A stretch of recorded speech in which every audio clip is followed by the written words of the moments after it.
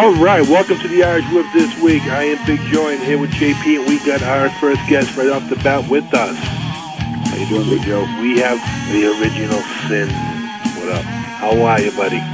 You doing all right? I'm doing all right. I just worked out. Just had me a big shake, so I'm going to try not to make any disgusting noises on while I'm here with you. Hey, dude, we're not censored. Come on, let it go. So JP here, Sinn, you go right ahead, I'll, man. I'll prep some for you. Give me a you got a burp, you got a fart ready, man. Just put it right up to the phone. He said, let, let it rip. You know, just, just like you, were- just like you were doing the electric chair with Carnival Diablo. All right. Uh, you know what? I've never, I've never broke wind in the in the electric chair, but I think now that you just put that in my brain, I might have to bring that to the table next time around. All right, right off the bat, real quick, we had a question coming at me and JP from the chat room from Gary Brown. He's one of our listeners over in England. He wants to know who Radio. our he wants to know who our favorite wrestlers of all time are. And I'm gonna have to throw mine out there. I'm gonna have to go with the first one I remember watching back in the day would have to be Andre. Andre. All right. Okay. Um, I would have to say I was in awe of Andre, but my favorites were Macho Man and Jake Roberts all the way. That's a good. I mean, I. And, and at re- when I was a kid at recess, I was always Roddy Piper. Gotta be the loudmouth. I'm gonna take Piper for my favorite of all time, but the one that probably sticks in my head the most, and I'm probably gonna take a little bit of heat from this, is Hogan. So I'd say it'd be pretty close between Piper and Hogan. It's like with me going back. I remember. It's like you know. The, it's like they always tell you. You always remember your first. The first person I ever remember seeing watching wrestling is Andre the Giant. Black and white. I was holding a rabbit ears to my grandfather's Andre, and it's just stuck in my head forever. Then going through the years, of course, you have you know different eras, different decades. You have your different favorite.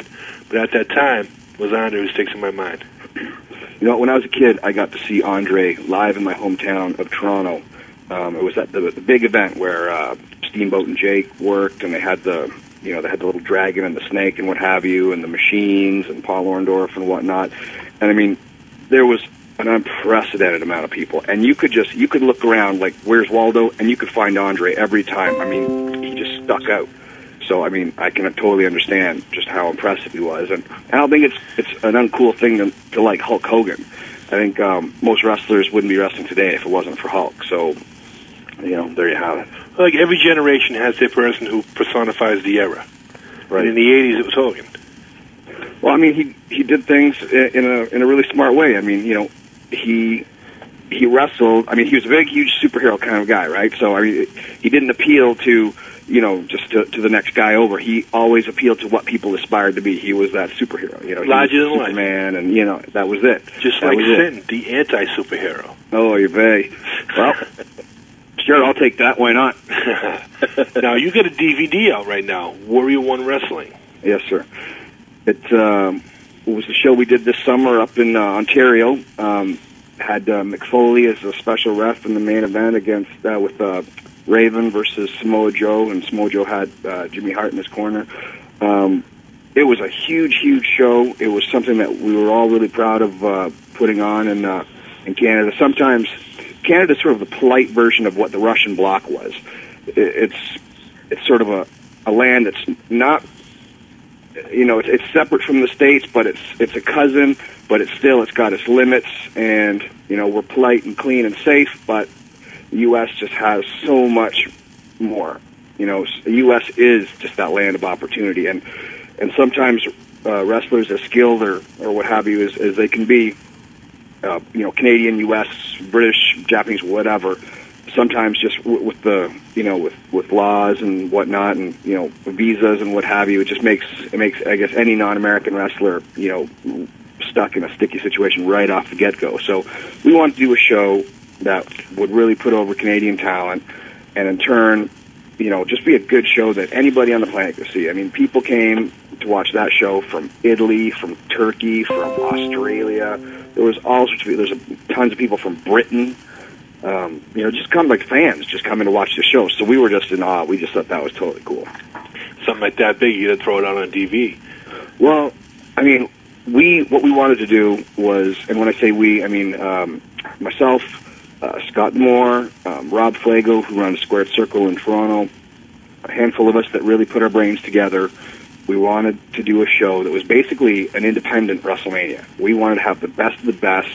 We wanted to have skilled guys, you know, um, names, non-names, just just the best guys we could we could have most hardworking guys we knew, and that's what we did. And we basically threw a party. That's what it was, really. You know, I invited all the guys that that I really respected or do respect, and uh, we had a blast. It was a really fun show. I mean, looking And, uh, at I'm, I'm looking at your MySpace, which people can get to from going to the original sinn. That's the original sinn with two n's dot com, and that'll link it up to the, your MySpace account where you have the the banner up there for the Warrior One Wrestling. There's not a name up there that I don't know. I mean, you're saying it's a lot of independent guys, but these independent guys are the top of the independents. Well, I mean, independent is really just saying non WWE, but I mean, a lot of those guys were former WWE, uh, former WCW, um, New Japan, CMLL, ROH, TNA. There was a smorgasbord of dudes on that show, and they all really worked hard. And I thought it, w- I thought it turned out to be a really great show, and I was really proud.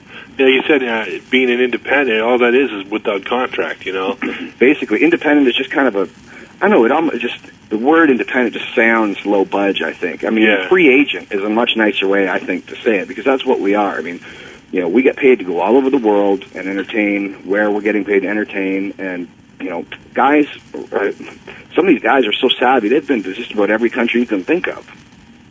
So you know, I mean, they've all got skills and they've got worldly skills. They're not, you know, they're not guys that just were, you know were hired and then trained. These were guys that busted their asses and went here, there, and wherever, you know, to get acclaim, experience, TV time, everything, building up fan base, you know, everything. it's what it takes. And I mean, they put in the legwork, and now it's paying off when they're getting getting put on all these major shows. That's right. It's like uh, last week we had uh, Petey Williams on, who was on, who was part of the show. Yeah, yeah. He, we were actually in the ring together. Petey and uh, Bobby Roode against uh, myself and Helvis, who was basically uh, he was the newest member of the the new church at the time. Um, and basically, from that show on is where we officially branched out to be the tag team Beast of Burton. Um, he's a really great guy. He was trained by Al Snow and D'Lo Brown. Um, when I was first breaking in, he was one of the guys that was really instrumental in, in helping me out and, and showing me the ropes and what have you. And uh, we actually tagged here, there, and wherever, just sporadically and coincidentally, long before Slash and I ever tagged. And uh, it's funny we've never uh, we've never had a three-way tag. We've never done any six-man stuff. The closest we ever came was we all got drunk at Slash's house one night and passed out on his couch, and that's that's as close to uh, to getting slashed in and uh, and Helvis in the ring at the same time. But knock on wood, and we'll we'll see what's up for the future. I think that could happen. That would be a nice match. See the see you three going against Team Canada.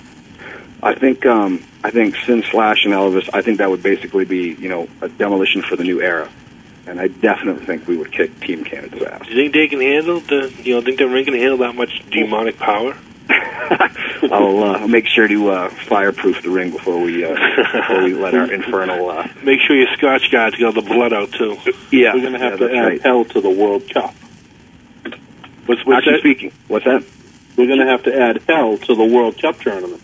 The world, the the World X Cup. They had, uh, you know, the land down under Satan's world. will have to bring their own uh, their team up there with the three of you. That's right. That's right. And actually, too, just uh, my my brain is, my my brain jumps for like Phoebe from Friends, so I'm all over the place. So this is what happens when you get jacked in an electric chair and get darts thrown at you for a living. I got to see that. When is that going to come down to the states? Um, I don't know. Uh, they've got a lot of shows planned for uh, for Canada, and they've got shows I think planning for um, England. They're planning to do a, a loop of the island there. Um, that's all in the works. Um, I don't know. I would love to do a show in the states. I think it would totally freak out everybody. They've seen Yeah, uh, a taste of it when uh, we did the the dart the dart stunt with uh, Jim Mitchell and and whatnot at TNA. But they've never seen the full blown show, and there's some there's some crazy stuff that goes on in that show. I mean, it's it's nuts. Now, I've what checked out the about right now is the Carnival Diablo for people out there that don't know. Um, what's what? How painful? How much pain can one man take now? What's the most painful thing that you've done there? Uh, the most painful thing is is the well, obviously it's the electric chair, but um, I'll tell you a, a funny side story. That uh, one time we were doing, um, we did. Uh, okay, let me just put this in the words here. We were doing a show called Mind Trip for Discovery Channel that we filmed just before Christmas, Right. and we were going to do the electric chair and a few other uh, things, and we did the electric chair, and the the deal was on this mind trip was a few different performers. There was like a psychic, and there was some paranormal guys and whatnot, and then uh, a couple of the Diablo crew, and uh, the whole thing was supposed to be done in front of a panel of scientists, so they could you know speculate and hypothesize and whatnot. So usually when I do the electric chair, I'm usually you know in in my ridiculous fur pants and my leather boots and all that all that stuff. And I wanted to have the scientists have not a doubt in their mind that it's legit because I mean there is amperage coursing through your veins that can kill a horse. And I wanted people to know this. I wanted those scientists to know it. So what I did was I just walked out bare feet in just basically a pair of little black undies and made sure like there was no room for for any speculation.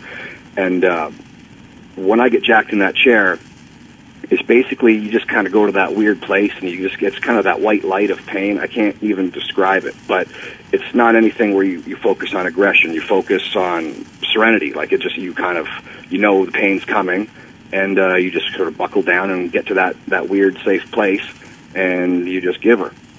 And uh, so anyway, so what happened was I was in my bare feet, and I just took my feet off the ground, not even thinking about it because you know, I wear these big, ridiculous black boots and stuff, so my feet are always touching the ground. And I'm sitting there like a little kid with my feet kind of dangling in between the chair, not even, you know, thinking about it.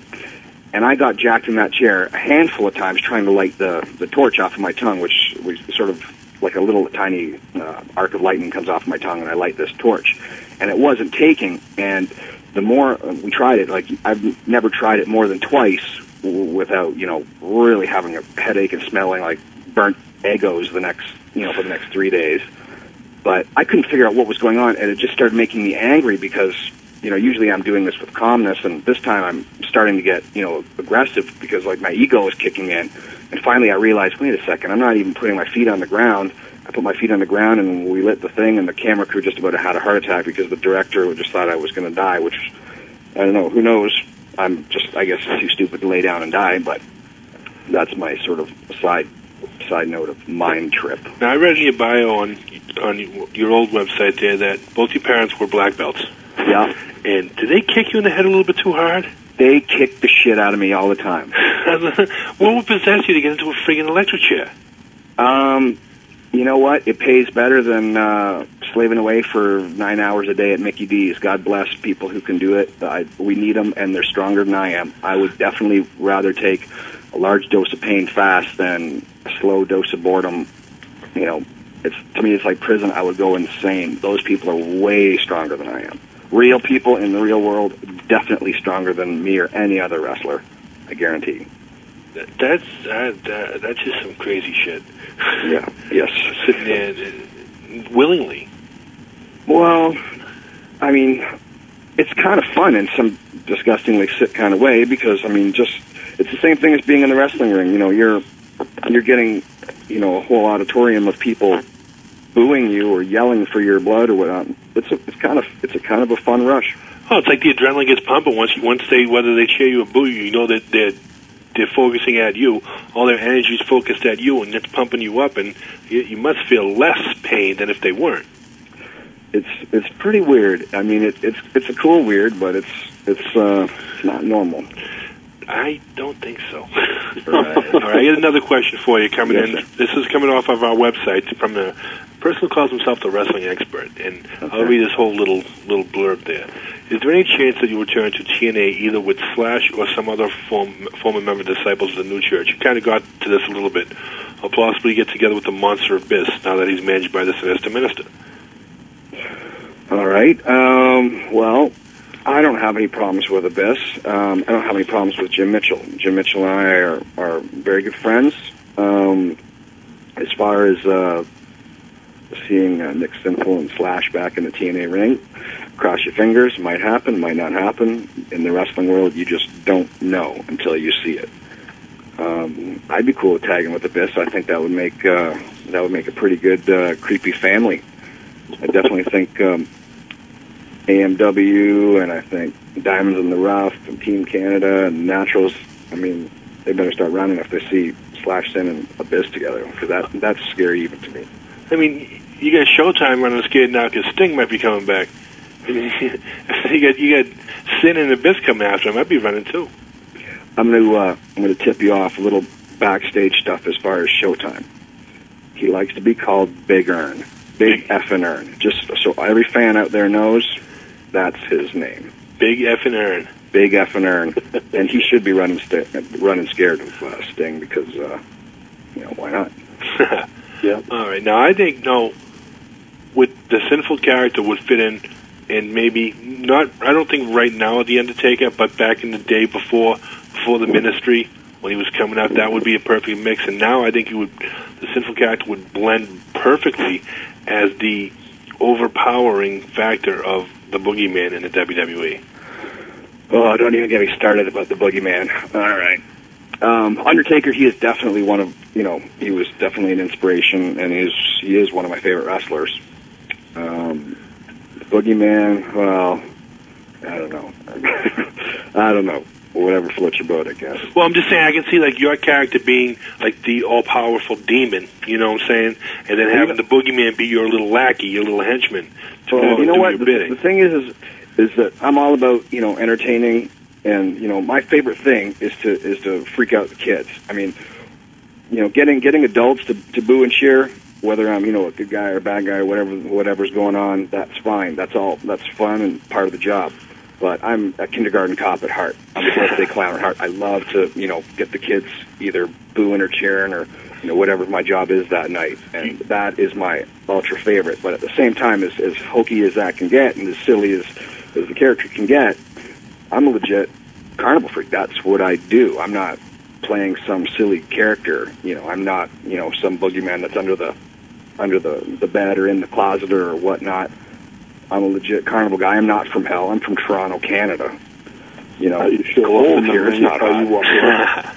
but I am, get I am a legit when you're right. masochist. I'm a legit pain guy. I dig pain. It's not a problem to me. I'm not weird. I'm quite a friendly, polite, happy-go-lucky dude.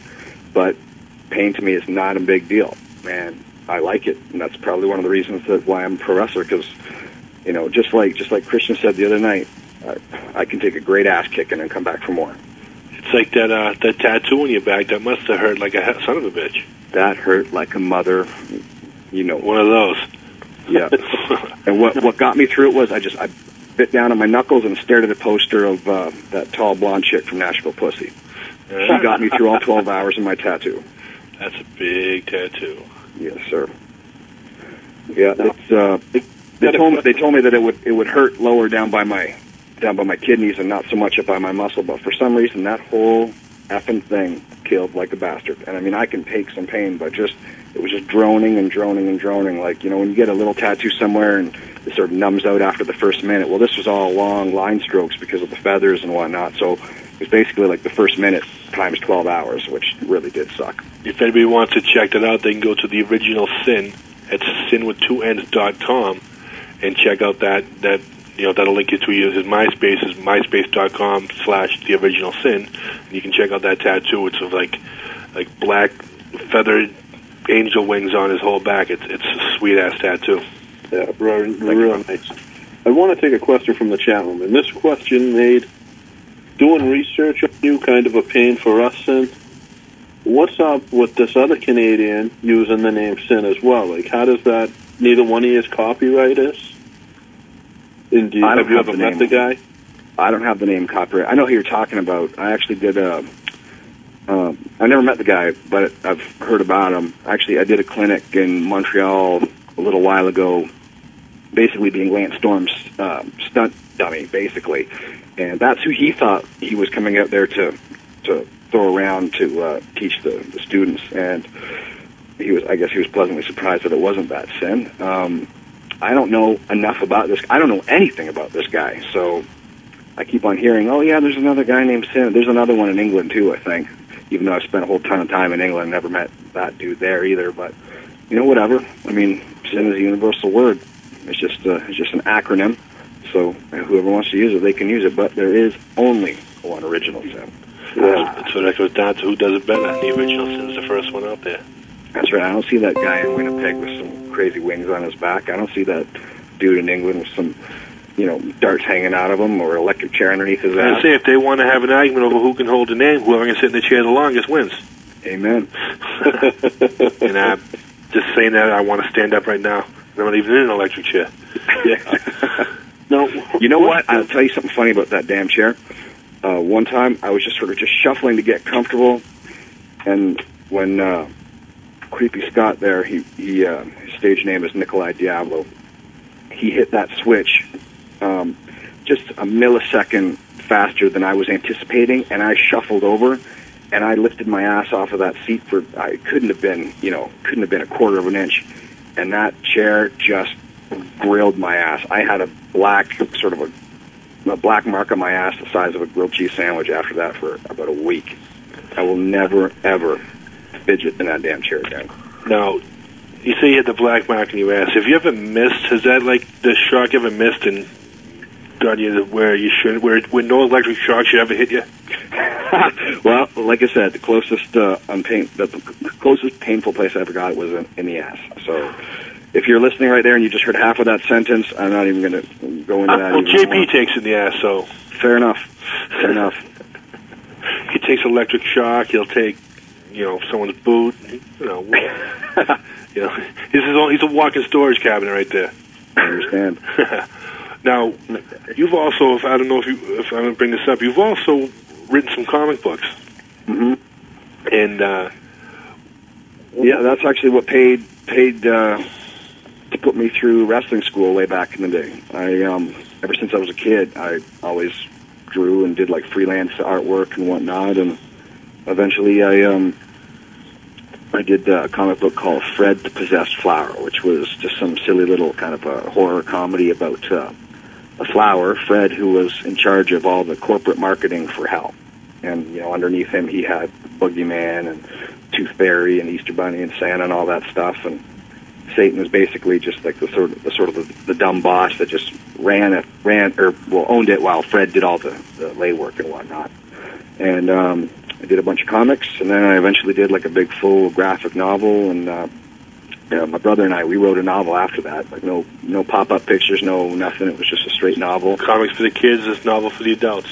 Yep, basically. So so don't just uh, judge a up Bill creepy book by its cover, even though. though I am, you know, some weird pain indulgent masochist. I can string a few words together and I can doodle. So there you have it. Now, what? There's no pictures and no pop up, so Joe won't be reading that one. Yeah, I don't read anything without pop-ups. Pop-ups with dirty no, but that's all Joe I can read. That's right on his level. I So. like scratch and sniff too. Now, the between the, You're in the you're in the wrestling world right now, so be very careful with that. now, the, both the comic books and novels, they people still pick those up somewhere. yep, they can get them on theoriginalsinn.com. All right, and uh, Now, what where they can the also DVD? pick up the DVD for the Warrior One Wrestling, which they can also see at warrior1wrestling.com. Yep, they can go to either or. Um, it's That's warrior1wrestling.com, and it's uh, the number one. And uh, yeah, you can uh, you can get it. You can send in money orders, or you can do the PayPal thing. Um, you can see a, a, a trailer on the on the website. It's pretty cool. I mean, it's uh, the guys that edited everything did a really great job. Um, there's a lot of funny stuff. I when I produced the DVD, the double DVD rather, I really wanted to make sure uh, we went very MTV with it. Like I wanted people that weren't even wrestling fans to be entertained by the DVD. So if you're a wrestling fan, obviously you're going to enjoy the matches because they're some of the best in the world on that on that DVD. But I mean, you know, the commentary in between. There's some. I sort of wanted to piece it together like like the old school uh, Coliseum videos where you'd have you know like Sean Mooney and Johnny V throwing to the next match and whatnot, and sort of adding in some little comedy shtick and some personality in between everything. And our uh, our host was JT Playa, who is um, he was a promoter in in Ontario and uh, Niagara Falls for Neo Spirit back in the day, and now he is a freelance wrestler, and he's basically sort of the the second coming of Sweet Daddy Siki with a whole level of Richard Pryor to him. So he's as funny as you can imagine, and uh, him and Jennifer Blake, who is this cute little blonde girl who totally looks lost next to Playa, but it's funny as heck. And uh, they they announce every match, and it's uh, it's really good. And there's a lot of there's bloopers and outtakes and all sorts of stuff that the fans can see, like all the backstage stuff. It's it's really good. It's done very well. I'm looking at the banner now, and you see Kamala goes bowling. That's something I want to see wrestling fan or not. I want to see Well- Kamala bowling. Well, when I was when I was putting together the show, like I said, I just I didn't want to think. You know, I mean, a lot of a lot of the startup wrestling shows they think very linear, and you know they could be so much better. They there's so many good, talented guys and girls that are wrestlers, you know, that can put on a heck of a show, but it needs to be promoted and needs to be advertised, God forbid, like a, you know, a real product. Like there's nothing wrong with wrestling. It just needs to be, just needs to be promoted correctly. You know, look at, I mean, Mr. McMahon's made a billion dollars off of this business, you know. So anyway, my, my philosophy behind doing my own show was I didn't just go, I mean, I, I made sure all the, the wrestling websites and so forth, you know, had info on Warrior One, but I sent it to, you know, radio stations and TV stations and newspapers and what have you. And I, I looked for as much advertising and as much PR as I could because I knew that these guys had the skills that the mass, if the mass people could see it, you know, the wrestling fans and the non-wrestling fans, they'd be entertained. And I really wanted to think outside of the box. And I thought, well, Kamala at a bowling alley. I mean, that's as MTV as you can get. That's as surreal life as you can get. Like that's just as good as Vince Neil and MC Hammer and Webster eating sushi off of some naked stripper. you know, or at least at least well, that's as close to my budget as I could do it. Getting Kamala in a bowling alley, which was totally funny. JP, you get a question coming out of the chat room, I think? Yeah, from um, Fan Mark. He wants to know what you thought of your time on the Maritime Tour. Maritime Tours. Okay. Um, if you ask, again, Showtime, Big Earn, if you ask Helvis, if you ask uh, Big Petey Kingman, um, anybody that was on that tour, JT Playa, um, you, they will all tell you that was probably the f- most fun time in their entire lives. Uh, we had a blast terrorizing the Maritimes. Um, we got to work, you know, we just looped the entire Maritimes going from Nova Scotia to, to New Brunswick and so forth, all over every town you can imagine. We hit it and we tore it up. And those guys were great, talented guys. Um, a lot of guys that people just don't know about. Like something that I think a lot of the, the diehard wrestling fans don't realize is just because you haven't heard of some guys doesn't mean that they're not skilled or entertaining or whatnot. You think only the guys that you've seen on TV you know that's got to be the end all be all of wrestling. There's a whole universe of other guys that are, are great wrestlers that just maybe haven't got a break or haven't you know haven't shown their wares at the right place at the right time or whatnot. But there's some awesome wrestlers. Uh, let me just think. Uh, six foot ten Kingman. Um, you know this guy is basically basically Kane size.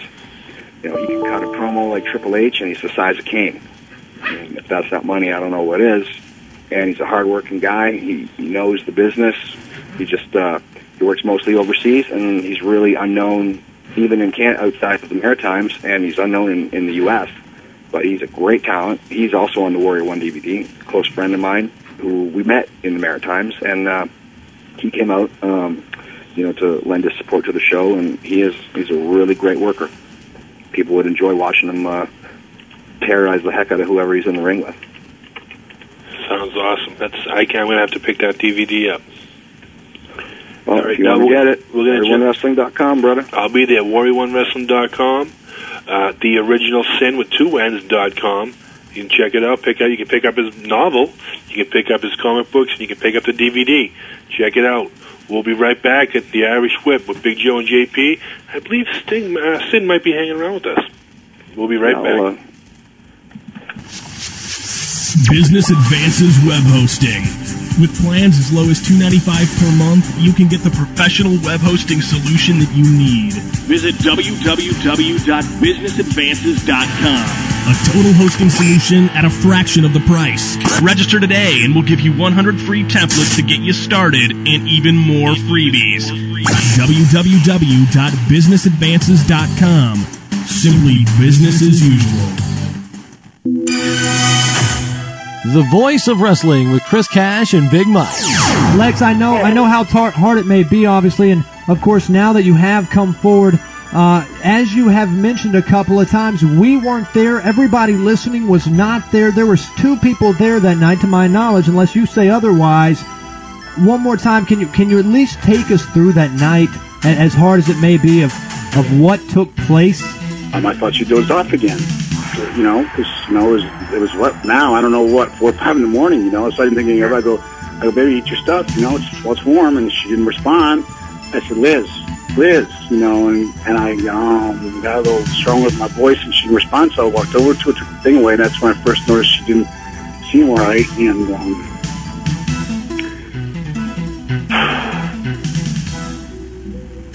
I uh,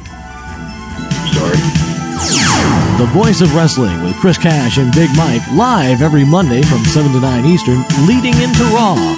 We are the true voice in professional wrestling.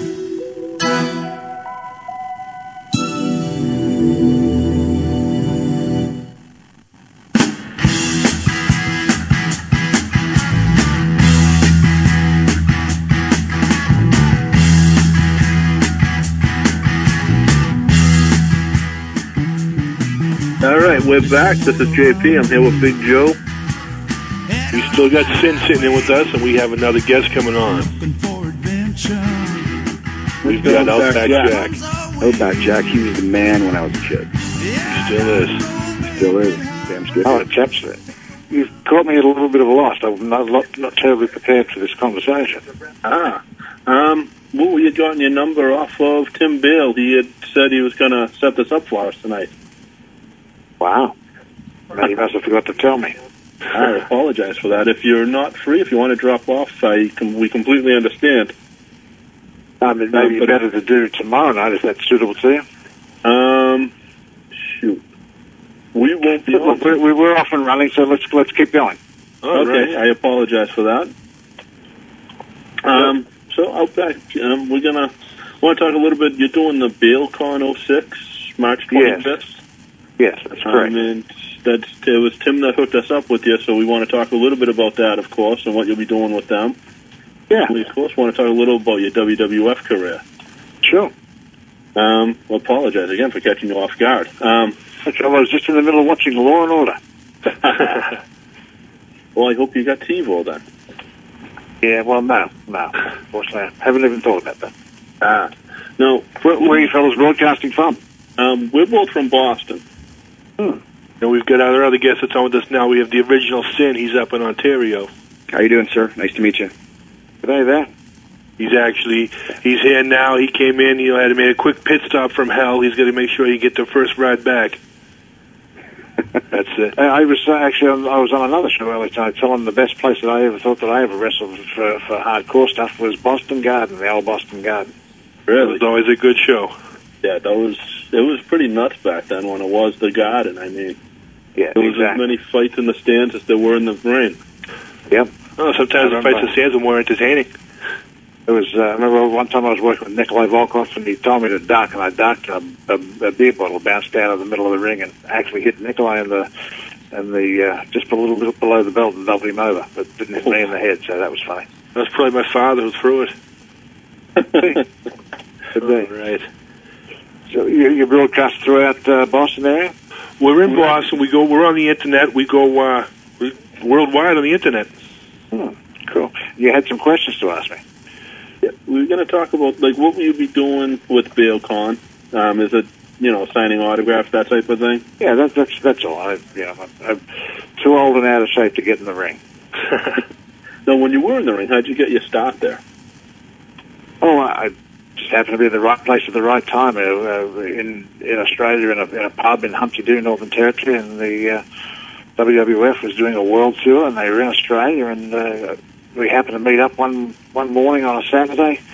We were going to wrestle in Darwin, and uh, they walked into the pub while we were all having beers, and it was uh, like watching fellas come to life off, te- off the satellite television. That's where we used to watch them, you know. Oh wow! I've been, I've been down to Australia. I was down there when I was in the service, and Australians are legendary drinkers. Now, yeah, yeah. Andre the Giant was a legendary drinker. Where would you compare to him?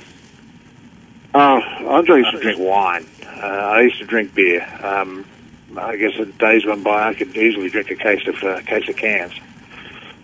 That's a lot of beer. But, uh, Andre used to drink. He used to drink uh, wine uh, quite uh, quite abundantly. Drink it by the orchard. Which service, branch of the service were you in? I was in the Navy. Ah, cool. I spent a couple weeks down there. I hit Brisbane. I hit Perth. I had a good time. Just wish I could remember most of it. There you are. Leave is like that, isn't it? Oh, and uh, I get the pictures though. I don't know how I get the pictures that came out with me, but uh, just the memory's not there. You know, little little Fozzie, those Foster's oil cans can do some damage. Yes, Foster's oil cans can. If you managed to get to Darwin, you'd have drink, drink, drunk a couple of Darwin stubbies. That would have that would have rocked your boat. I sat down at the bar and I had these the, the, the Australian woman, the Sheilas coming up to me, and oh my god, they were buying me drinks, and oh, it's like they had hollow legs. They- They just never got drunk. Yes, yes. And then they told you, lay down, I think I love you. now, with your time in the WWE, who was your favorite? Who was your favorite opponent? Uh, who did I work against? Uh, Well, I, I, I really enjoyed working against uh, uh, King Kong Bundy. He was uh, sizable and, uh, and you know, uh, he knew his, knew his stuff. He was, he was good to work with.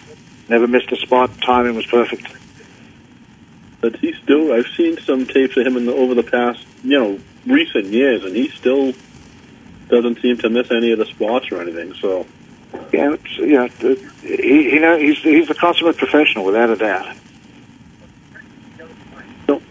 So it says here, said I'm looking at started in Australia. How did you wind up over here? Just Well, I know I was working uh, on a cattle station. They came into the pub, and uh, oh, okay. So that's that's how it all happened. And they uh, they invited me over after I took them out to a cattle station, and uh, cattle station I was working on. Arnold Skaaland was an, an agent that was uh, with the fellas. Uh, I guess uh, Hillbilly Jim and Junkyard Dog and. Um, oh. the Hammer Valentine and uh, Brutus the Barber Beefcake came uh, came into the pub and wanted to see what a, a real life Australian outback pub was like. So and you showed them the ropes.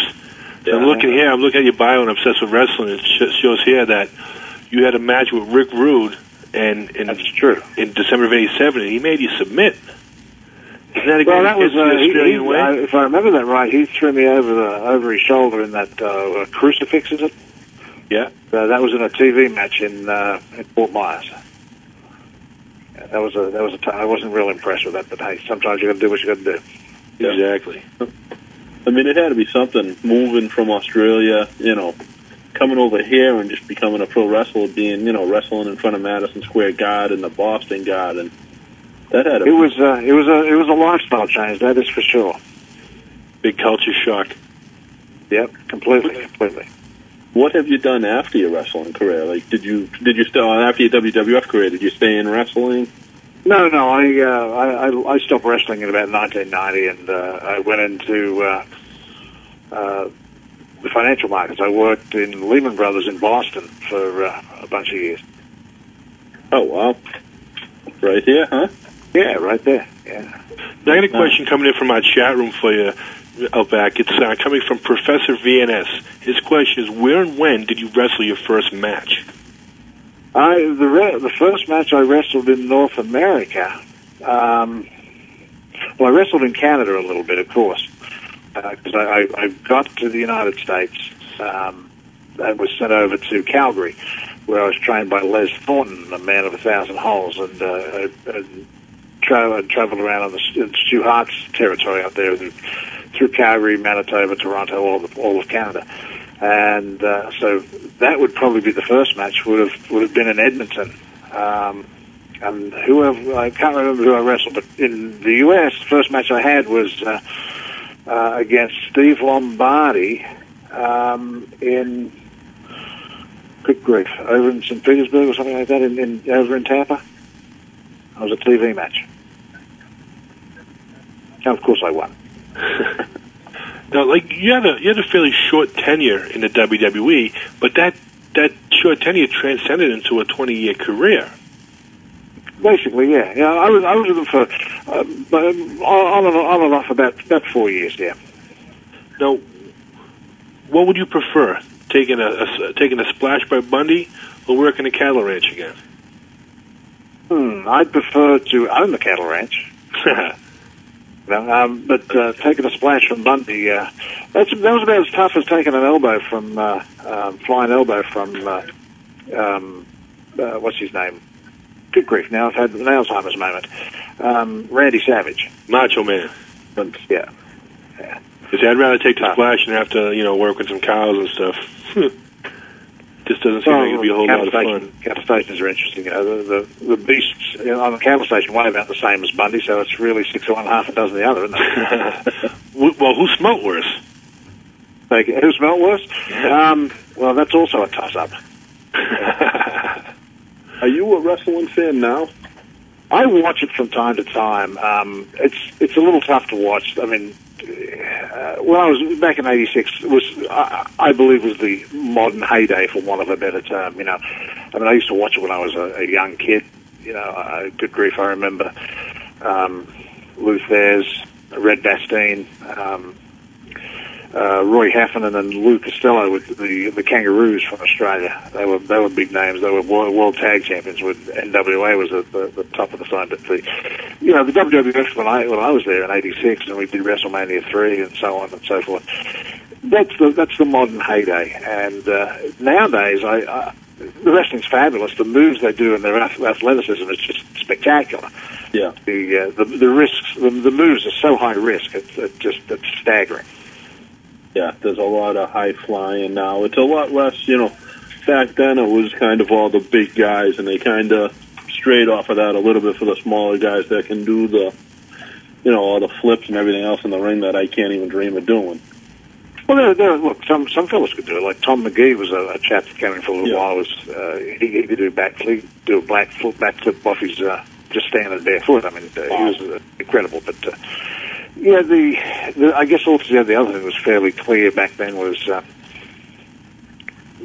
the villains and the uh, heroes were fairly defined and easy. There was an easy line drawn in the sand of who was who, and it's it's very tough to see who's a who's a who's got an agenda and who doesn't now. You know. We got a couple of questions coming in for you from the chat room again. This one's coming from Gary Brown. He's over in uh, over in England. He wants to know what do you consider to be your greatest match and or opponent? Greatest match. Um, personal favorites. I I had a match one time with the Mighty Hercules, and we were in Hershey, Pennsylvania, and we had to get 40, 45 minutes. That was just an absolute rip snorter of a match. It was It's unbelievable. match, even for today's. That one is, is one of my favorites. Is probably the top of the top of the matches, and then of course, um, there are a couple of um, Royal Rumbles on telly that I had that I enjoyed. But that one would be the well. Oh, actually, another one I had that I, I really enjoyed was at the uh, the um, good grief over in the Meadowlands with uh, uh, the King Harley Race. I, I I did I did 25 minutes with the with Harley Race. That was because he was an all time legend, and that was that was just brilliant in my mind. Another question coming in real quick for you is from Woody. He's over in Ireland, and he wants to know can you still go in the ring? And uh, part two is when was your last match? Your last match, and who was it with?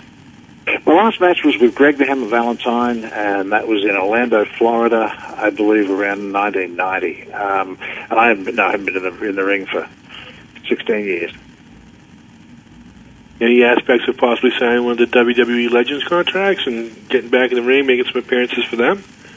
No, no, I, I, I, I don't, I don't believe that Vince and I um, are uh, are the best of friends anymore. Uh oh. You want to elaborate a little bit, or no? Okay. Um, Got a question coming in now from the chat room from Professor VNS. Um, did you get a chance to engage in any high-profile feuds? And if you did, who was it with? Yeah, I, I did have a, a, a fairly high-profile feud with Killer Khan for a long time, um, and that was mainly to set up uh, Hulk for WrestleMania 4. Um, that was a good thing. I mean, uh, although Killer Khan was as dumb as a box of rocks and, and weighed about as much too, um, he uh, he and I and, and Fuji went round and round for quite a long time. That's. Did you get hit with the mist? Yeah, I did actually. I did. And the stupid bugger, he bloody uh, in. Uh, let's see, this was in Landover, Maryland. He was supposed to get out of the way as I was coming back. I was off the top rope, and he rolled underneath me, and I, I hit my head on his knee, the back of my head on his knee, and I uh, detached the retina, 280 degree retinal tear in my right eye. So that my right eye uh, is uh, pretty much cactus now. Yeah, that's um, that sounds painful. it, it, it, a bit of a headache at the time, but it wasn't until later on when somebody flashed a shot a flashlight in there that I realized that uh, I was in a spot of bother, and the fact that I can't see out of it now also uh, is a bit of a clue. Oh wow. Yeah, that's um. that mist, like you know, people don't realize when they're doing that. You're still you're putting something in someone else's eye, no matter what it is. So. Well, sure, sure. Repercussions, you know. I want to just go back to the. I want to make sure we plug the BearCon. Um, Absolutely. At the Holiday Inn, 1800 Belmont Ave in Baltimore, Maryland, from 11 a.m. to 7 p.m. And, I'll be uh, there. I'll be there for the, from eleven to seven, pending, of course, toilet breaks. There's some huge. There's some other names there that are humongous. I mean, yourself, of course. You know, Captain Lou Albano, um, New Jack, Kamala, The Ernest Valiant. Miller. So I mean, to anyone in the Baltimore area, I mean, it's ten dollars admission. You'd be nuts not to check this out if you're a wrestling fan or Absolutely, absolutely, film stars as well. So, um, sure for sure. just a fan of nostalgia in itself, and you know anybody with in, of a legend legend sta- status in any type of field, you know that's where you want to go. Well, look, it's it's one thing to sit back and admire the you, you, what's what a person that's been your fan for for yonks, and if you can, you know, if you can meet the cover charge and come in for ten bucks and sit down and, and have a chat and answer the and uh, ask questions of your of your you know your, your long time heroes, then why not do it? right, that's it's a great opportunity. Um, you bump, get up and close. It's not like you're watching them on TV or you know standing behind the barrier. You get right up there, you know, shake hands and you know get your picture signed. Yep. It's it's you know that's something that's something people you know bring their bring their bring their kids to see. You know, this is the guy I grew up watching. Yep. You know, it's just, it's it's it's a whole it's like a rite of passing. I remember my father bringing me to places like that around here up in Boston when some somebody would come up here for an appearance. They bring me and say, "Oh, this is who I was." You know, being a kid, I don't want to go see him. I don't know who he is, but you know, when he tells you, "This is who I I grew up watching. This is who you know who I used to look up. This I was a fan of his when I was your age, and that's what you know that's what's going to make your legacy live on and on." Absolutely, it, it makes perfect sense, and you know, it's it's almost uh, silly as it seems to, to run a baseball analogy. It's like you know, um, a dad taking his uh, taking his son to uh, a baseball match for the first time, baseball game for the first time, and going into you know Fenway Park, and you know. Knowing that uh, I watched Carl Yastrzemski, Yastrzemski run the bases and uh, and uh, you know all the others. That's, no. do you do a lot of these, like the autograph signings? This is the very very first one. Wow. Very, very first one. So, again, if uh, make sure you get to the Holiday Inn, everybody, because uh, this is my first one, and you know, if it, if it's quite quite successful, maybe you'll get another. So you might get an, just a one-time exclusive autograph from Outback Jack and uh, and all the other chaps there. I think Bundy's going to be there. Uh, Jimmy and Johnny Valiant are going to be there, and uh, as you said, Kamala. That was It's going to be when, quite um, the collection. Who's who of wrestling legends? The person who put me in touch with um, Tim was Brad, who runs ObsessedWithWrestling.com, and he told me the only way he was getting giving me Tim's contact info was if we got you on the show. Which, unbeknownst to you, until about 20 minutes ago, we did. Well, It's an honor having you on. I know you don't do very many interviews, if you do any at all, and you, know you like to live, lead a private life. Uh, But I, no, I lead, I lead a very private life. I, I haven't done anything. Well, wrestling hadn't re- raised its ugly head to me. I did a, a Where Are They Now thing for the WWF magazine um, back in, I guess, good grief, was it June last year? The remember first reading time it. or June or July. That's the first time it had come out. Uh, um, and then, lo and behold, uh, a radio interview earlier tonight, and then this one tonight. So, it's uh, shock to the system. Glad. If I remember correctly, I think it says you work in the stock market or something to that effect. Yeah, exotic, um, uh, exotic options and futures uh, and, co- and contracts on uh, on uh, foreign currency, foreign exchange. Oh, exchange. for a second, did I say you were an exotic dancer? no, no, no. no. That'll Never be a a fan. in my garter belt. That's a fan base for a whole different, you know, different. Yeah, that's, genre. that's something you want to talk to Freud about, not me. That's too up close and personal, right? Yeah, something like that. Yeah. You want to bring the fans in, not scare them away? Is that what you're saying? Something like that, yeah. Although there's probably, uh, I do give good phone, so there's probably a, a, a lady or two out there that wants to be charmed by the dulcet tones of Outback Jack. I could, I could be talking to that. Take it for a trip down under. Yeah. All right, Something another, about being down under for sure. another question coming in for you from the Professor VNS out of the chat room. He wants to know that uh, you were billed as Outback Jack in um, up in Stu Hart's Stampede, was so where, where did the Outback Jack came, name came from, other than you know being from Australia and all? Well, I was always called Jack. Um, I, I used to hang out with my, my dad's brother, uh, who Uncle Jack, who was, uh, you know, I spent a bunch of years with him, so I was called Little Jack.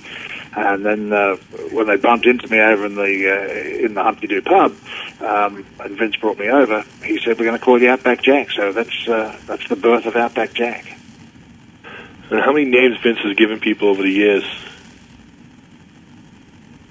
Well, he has a fertile imagination, doesn't he? Yeah, he like like like I guess Santa said earlier, he made him a billion dollars. Made him a million dollars for sure, for sure. Right, what, what was that, JP? No, um, no. You said you don't really go back to the wrestling, but you do you still get recognized in that type of thing? Oh no, no, no, not at all, mate. I'm, you know, I, I'm old and grey now. I'm, you know, 48 years of age. I've got grey hair, and I wear a black patch on my elbow. People, uh, ah, yeah. occasionally, a Sheila asks me about the black patch, so I can tell them a, a nice big lie to get into their panties. That's about it, you know. yeah. Now at BealCon, you'll be wearing you know the trademark le- leather vest and all that, right? Uh, no, the, the, the, unfortunately, the leather vest and and uh, dearly beloved Irving has uh, they've disappeared into the dust. But I, I, I do have some relics that are, you, you'll you'll be able to recognise Outback Jack. There'll be no missing him. So, so you're basically saying some collector has that up on his shelf somewhere. Oh no, not at all. No, when I say uh, Irving re- returned to dust, I mean he's dust. Ah, He's he's gone for good. Oh, but, uh, I, you'll, I'll, have my uh, my leather dry as a bone on and uh, a nice old, uh, very summarized uh, uh, Australian bush hat. the Uh, gator tooth uh, necklace. No, the, I actually the the the the, the um, crocodile necklace. I was um, doing a European tour, and I I went into the ring. I was wrestling uh, Volkov and uh, Nikolai Volkov, and Stone the Crows. If I give it to the person that carries the gear all the way back to the to the dressing room, and uh, everything got back there, my hat, my vest, but uh, the old crocodile necklace went missing. So I haven't had that thing for a long, long time. That's on somebody's shelf. Yeah, that's on somebody. Oh, oh dangling around some shoeless panties. so it's not going in the panties. That might hurt. Oh, yes, no, of course. Or you know, somebody might be inventive enough to put a piece of wire through it and pierce their belly button with it. You know. Hey, pierce Yeah, goes like and die that sort of bond. jewelry. The amount of teeth on that thing. That's it. That's it. All right, so it's BealCon. That's going to be March 25th. What's the address again, JP? 1800 uh, something or other. 1800 Baltimore. That's in Baltimore. Holiday, Holiday Inn in Baltimore. Um, I don't have the address right in front of me, but it's March 25th, and it's 11 a.m. to 7 p.m. And, you know, some of the biggest names in wrestling history, Outback Jack, The Valiant, Captain Lou, King Kong Bundy. I think when I talked to Tim, he told me the Iron Sheik. So, I mean, anyone who's an old school wrestling fan, you know, a fan from the 80s, the kayfabe era, that, that will know, be for- there. For 10 bucks, man, you can't beat that. Can't beat that with the stick. Yeah.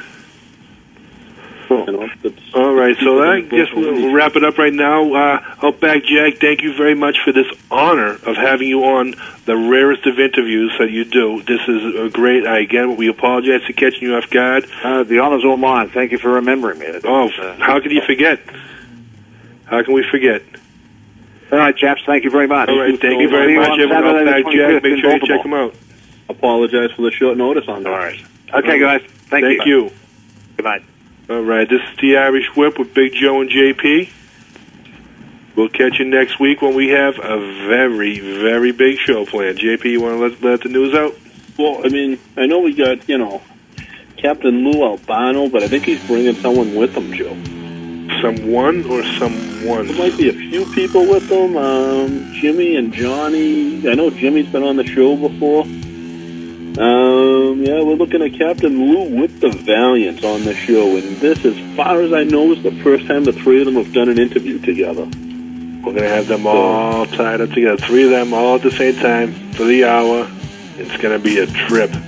And Up on the Outback ride, just Jack, sit I'll make sure that these guys all know about this beforehand. Yeah, we'll have to definitely clear that up. Make sure that that's you know we don't want to run into it. Humpbag was a stand-up guy for not hanging up in your face, but you know, hey, worked out pretty good. Nice guy, hell of a guy, Oh yeah, and a legend. So oh and so make sure you check us out next week we have Captain Lou and uh, Jimmy and Johnny Valiant on the show. have a good week, everybody. All right, everyone, take it easy. This is the Irish Whip. We'll see you next Tuesday.